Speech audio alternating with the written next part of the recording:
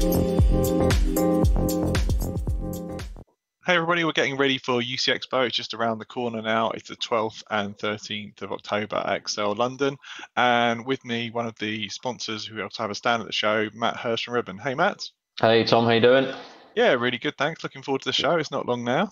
Yeah, I know it's exciting, just around the corner. Yeah, oh, everybody getting back together again. So um, I'm sure a few people uh, listening to this obviously know Ribbon. Uh, if you just give us a little intro though of who you are and what Ribbon do.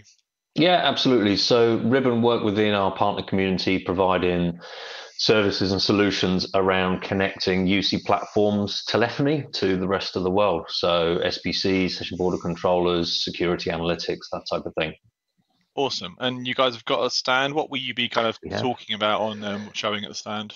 Yeah, we're really going to be focusing on how we're helping our partners evolve to kind of the cloud first world. Um, so, looking at solutions, supporting our partners changing priorities really as they move their business models away from traditional sort of on premise or capex type of uh, solutions to cloud based OPEX, you know, um, building their services as they grow. So, we'll be focusing on that, showing the solutions with managed services, full SaaS offerings from the cloud from Ribbon that our partners can kind of consume as cloud brokers or build their own services and solutions.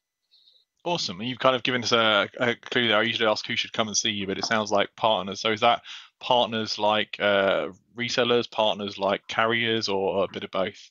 A bit of both. I mean, you know, we're seeing both carriers engaging quite heavily with like the Operator Connect, for example. So we're we are an Operator Connect accelerator partner, so we're helping the larger operators with their journeys, but also the channel and the partners as well, completely, because they're looking to you know where they fit in this new world and how their business models and priorities are changing away from you know reselling software services licenses to now building managed services um, you know, building cloud-based uh, OPEX solutions. So both the partners and the and the operators really.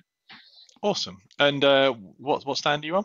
Uh, we're on U54. Um, so yeah, come and find us on the stand and have a chat about anything you'd like to around what, how we can help you. Awesome. Thanks, Matt. Yeah, um, I'd recommend you go and see see Matt and the team. There's a lot to talk about there, particularly as, as you say in the carrier and partner space. That the world is changing around what you offer to customers. So definitely some new new opportunities, new revenue streams there. I think.